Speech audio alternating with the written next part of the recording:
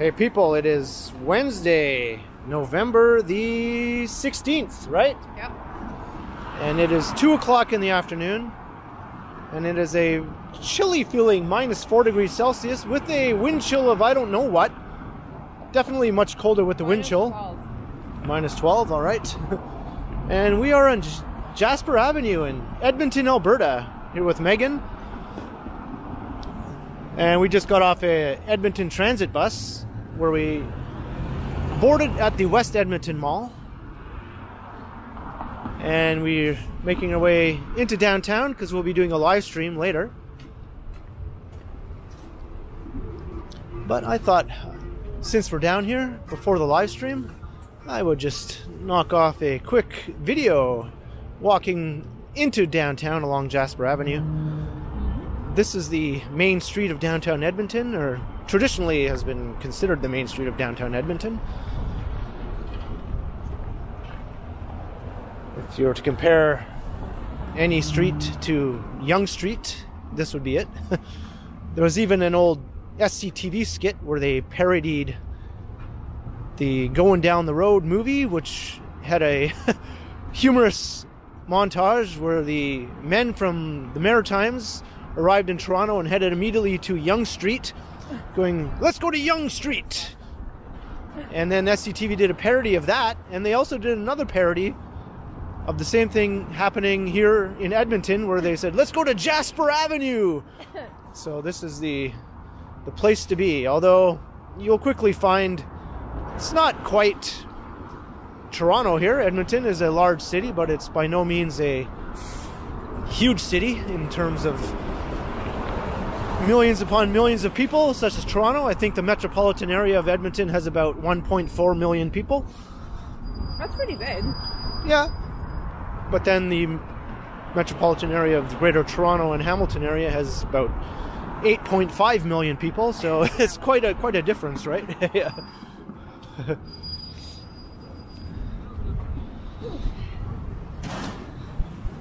Oh yeah, that wind is cold. Yeah. Yeah, that's a. So this is Megan's first time in Edmonton. I have never been here before. I've been Yeah. to Calgary a few times, but never to Edmonton. Yeah. And unfortunately, we're walking directly into the wind. yeah. That five degrees it's gonna be in Vancouver is looking real good. Right. Yep.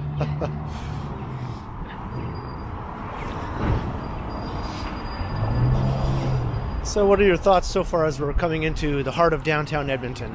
All the street signs are really different. Yeah. Yeah. 'Cause they've got those like green metal overhead street signs. Right.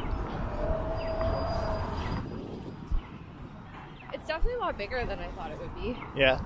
Because like when you described it to me, I was picturing like, well, but like more. Well, I told you it was way bigger than Guelph. I know, but like, I was just picturing, yeah, like or maybe like Kitchener.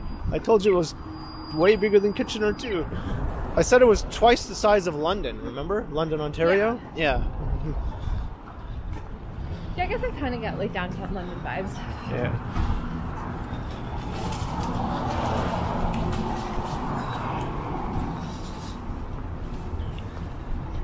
Papa John. Yeah, so like when the wind's not blowing directly on you, it's not so bad. Right. it can get frightfully cold here in Edmonton. I mean, no joke, right? I'm definitely happy to have this giant fur coat right now.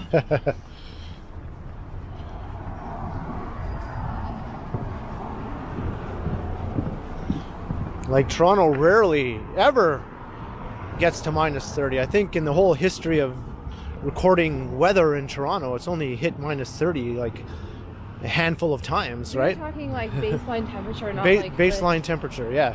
Not like wind chill, right? Not Just, wind like- chill, just baseline temperature. Yeah. Like minus 30 is almost unheard of in Toronto, right? Minus 20 is rare, but it does happen. Because it'll get like minus 15, but that'd be like minus 35 with a wind chill. Right. Yeah, wind chill is not temperature, right? No. no.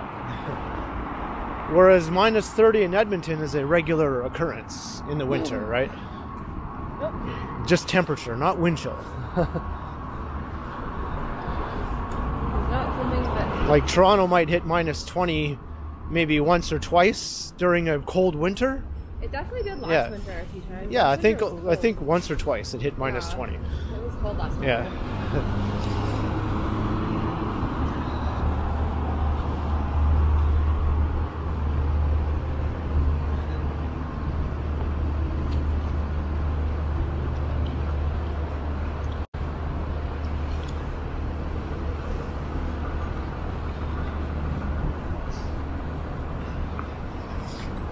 Yeah, it's nice. Yeah, when the wind stops, it's not so bad. Yeah. When the wind stops. But how can the wind be blowing both behind us I know. and in our face? I know. Right now, it's kind of pushing us a little bit. It just like swirls in direction. Yeah. Like it's right now, it's pushing us from behind. I don't mind that. Yeah, that's yeah. just not when it's like right in our face. Yeah. You know, this kind of reminds me of a little bit What? of North York. North York? Yeah, it does have a similar look to Yeah. Yonge Street through North York Center. You're Yeah. right. It does. Yeah. like between North York Center and Sheppard. Yeah. That's what it looks like. Yeah. Yeah. Yeah, because the street is wide. Yeah. The scale of the office buildings is similar. Similar. Yeah. And those brown buildings up ahead, there was Yeah. buildings like around North York Center across the street that look like that. And even the look of some of the office buildings is pretty similar too, right? There's just less condos. North York Yeah. Center has a lot more condos. And it even might seem a little busier than this, you know, like Yeah. for terms of people walking and things like that. And way more Asian restaurants and things like that in North York Center, obviously. Yeah. yeah. Well, there's a few. I've seen a few going down here. Yeah. Oh, look at that little bookstore. Yeah, that's that's a good comparison. The skyline of North York Yeah. is kind of comparable to the skyline of Edmonton. It is, yeah. Like if someone just plunked me down here and like didn't tell me what I where I was and zero context, I would probably assume that I was somewhere between North York Center and and Sheppard. Right. That's what I would assume. I'd be like on the lookout for the 401 just up ahead. right, right.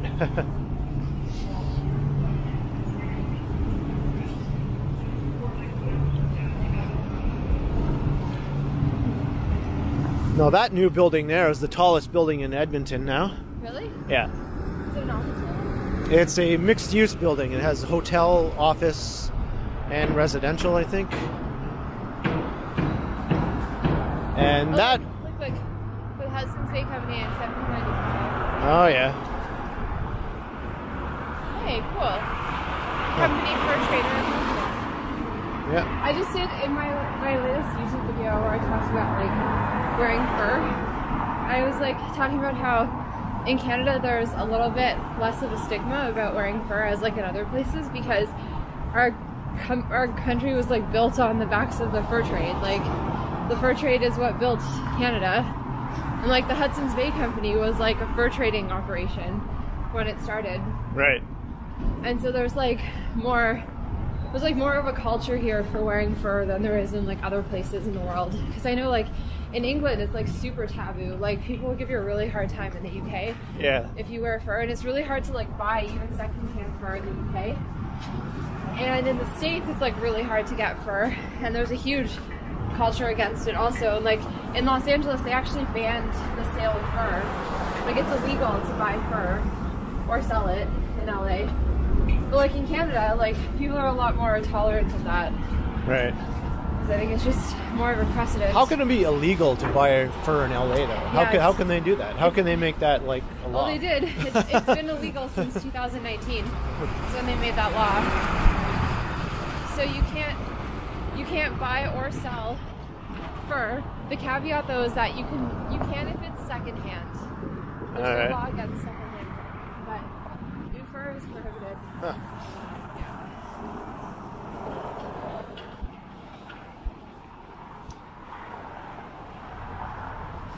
So I'm not going to cover too much of the downtown in this video in terms of the streets because we're going to be walking the streets after this in a live stream. so maybe how about we make our way over to to the Edmonton Center Mall. All right So we'll just kind of walk the streets a bit, and then we'll make our way to the mall here in downtown Ed- Edmonton, Sure, and we'll go inside, and that way we will Warm up a bit. be able to warm up a bit before we start the live stream, That's a good idea. because we're going to be walking around in the cold. Yeah. I'm down with that.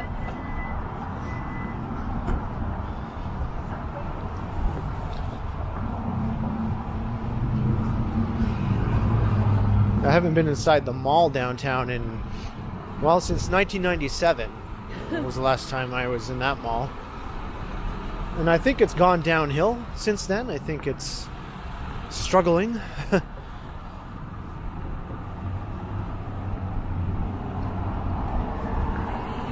There's an Enbridge here? I thought Enbridge was just Ontario.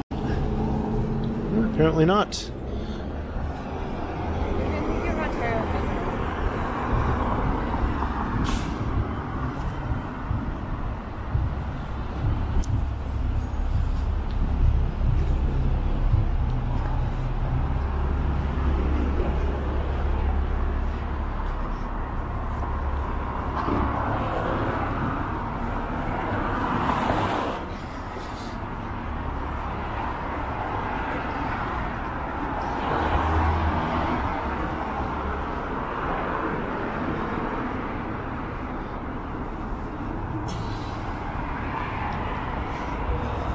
So we're still on Jasper Avenue. It doesn't really have much of a retail presence, you know? I mean, we walked along the main part of it, Yeah. and there are some restaurants and stores, but it doesn't have a busy retail presence, really. Yeah, not like Yeah. Yeah.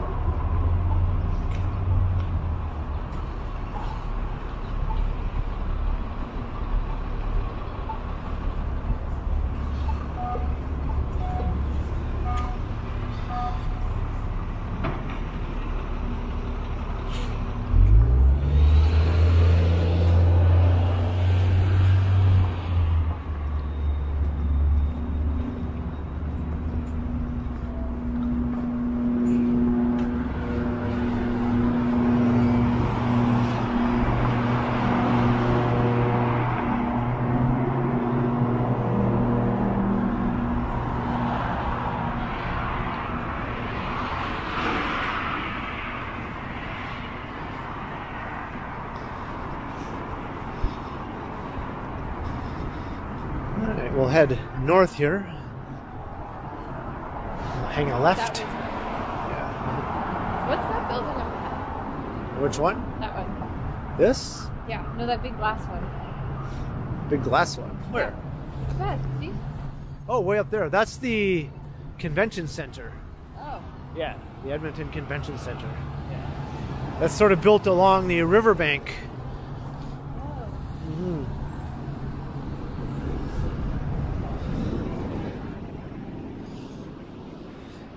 There's a look west down on Jasper.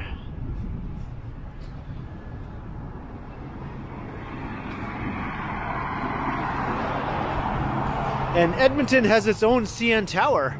Does it? Yeah, straight ahead. That building is called the CN Tower, Wow. and it was built, I think, in the 1960s. It was the first modern, tall office building in Edmonton. Really? Yeah, that used to be the only big office building in downtown Edmonton, like modern looking one, right? Oh. Yeah, the CN Tower predates our CN Tower by quite a few years. Yeah, because our CN Tower was built in like the 60s, right? Or 70s, yeah. right.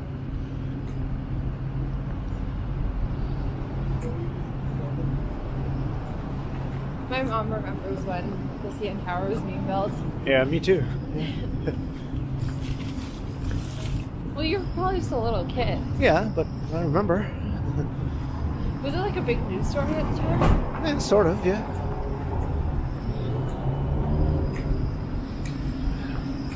So wait, when was it completed? 1976. so weird to think that like the CN Tower is like it's a little over a decade older than I am. Yeah. Weird. There's the Citadel Theater over there.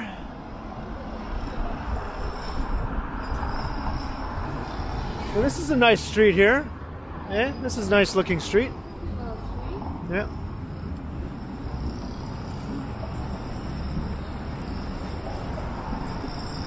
Hundred and First Avenue.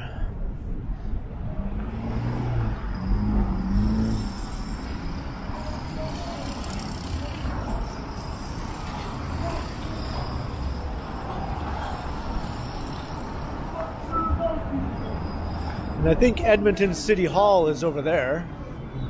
Is that that like With that tower thing? Yeah. That tower thing. Josh, will you shut up, dude?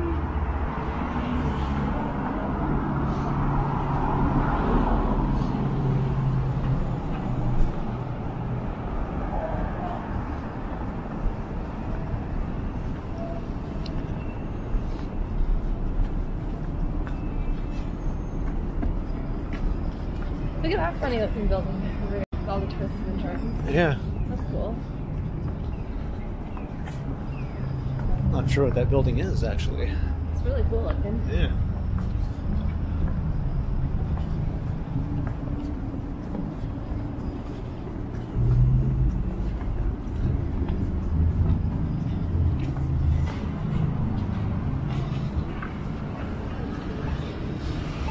Fuck, wicked jacket. This one, it's cousin. Is it real? yes, it is.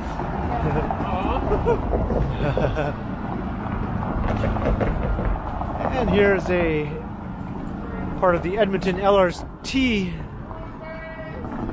This is a line running through downtown. Part of the LRT runs underground through downtown. Does it? Yeah, so it is a bit of a subway, but it's largely an above ground rapid transit line.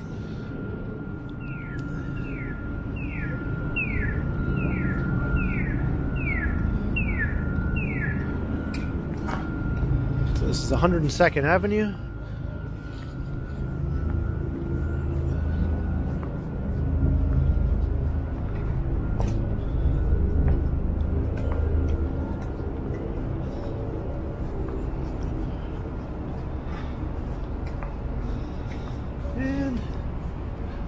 Heck of a lot going on in downtown Edmonton right now.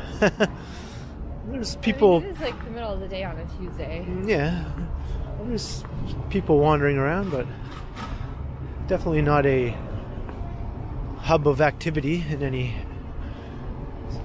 way that, you know, we're kind of used to seeing, right? Yeah. Well, yeah.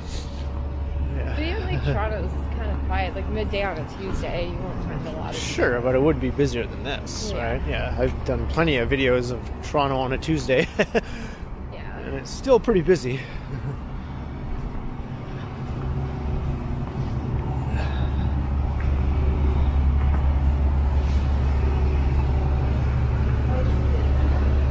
This is the mall, yeah. So we're going to head inside the mall here.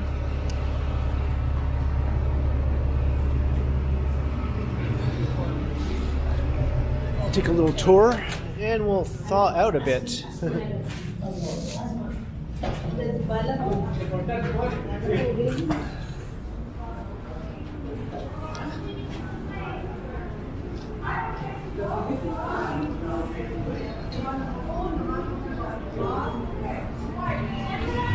and also maybe we could make change get something and make change to have for the bus ride back. Yeah.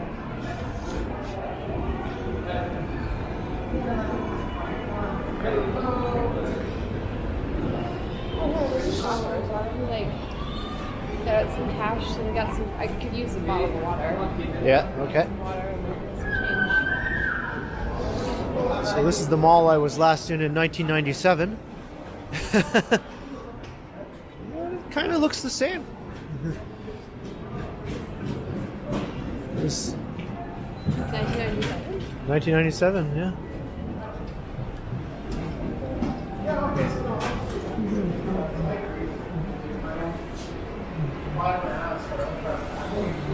So we have about 10 minutes before the live stream is set to start, so I'm going to wrap up this video. A little bit on the short side, but we covered a good portion of the main areas of downtown Edmonton anyway. What we didn't cover in this video, we will cover on the live stream. So have a or what am I trying to say? So I hope you enjoyed the walk. I think this cold has sort of like shocked me Yeah. shocked me a bit here. Yeah, it's cold. Yeah. Yeah. Hope you enjoy the walk. Leave a comment below. Let me know your thoughts. And be sure to like, share, and subscribe. And also make sure you hit the notification bell. That way you won't miss any of my videos. And if you'd like to support the channel, there are links in the description where you can do so via PayPal, as well as via my merch store. And there's a super thanks button right down below if you'd like to support the channel that way. And you can find me on Instagram also under K Continuum, and you can find Megan under Megan Sandor on both Instagram and on YouTube now. So thanks for watching, and be sure to keep checking back because, as always, we will continue.